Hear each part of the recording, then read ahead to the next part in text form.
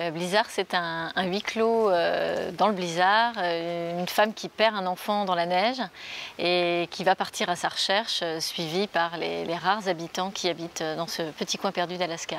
Oui, c'est un procédé qui était, le roman choral, c'est un procédé qui était vraiment rassurant. J'avais l'impression d'avoir un canevas déjà préconstruit et il restait à remplir le, le canevas.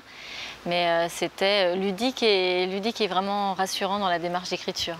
Euh, l'idée, elle est venue un peu par hasard. J'avais un peu renoncé à écrire. J'arrivais pas à finir ce que je commençais, donc euh, je me disais que c'était plus trop la peine d'essayer. C'est venu un peu de manière ludique sur où est-ce qu'on peut perdre quelqu'un, dans quel contexte.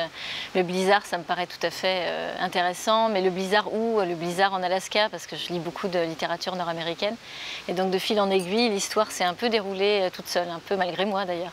Alors je suis jamais allée en Alaska. J'ai lu beaucoup de livres nord-américains qui se passaient dans des terres vraiment, vraiment reculé d'Alaska.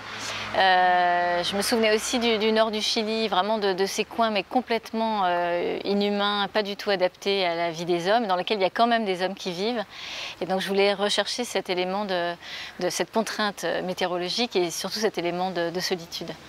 C'était pas un choix conscient, vraiment en toute, toute sincérité, c'était pas un choix conscient. J'étais pas partie sur la paternité. Je me suis rendu compte effectivement qu'il y avait beaucoup de pères dans le livre et que les mères n'avaient pas un destin euh, absolument génial.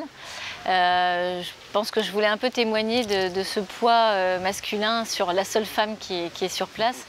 le poids des hommes, le poids des, modèles masculins qui sont un peu lourds à porter, ou des hommes qui fuient. Donc voilà, parler de différents hommes, pas un profil de père uniforme.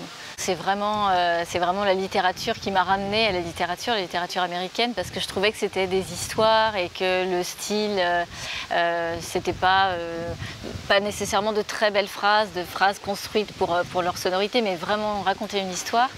Euh, donc j'ai beaucoup lu de littérature américaine, Ron Rash, Russell Banks, Cormac McCarthy, et ça finit par former, je trouve, une sorte de, terreau. Euh, les couches s'accumulent et finalement les, personnages de Blizzard sont un peu les fruits, euh, les fruits de toute cette accumulation de 10-15 ans de littérature américaine qui imprègne complètement maintenant ce que je suis, je pense.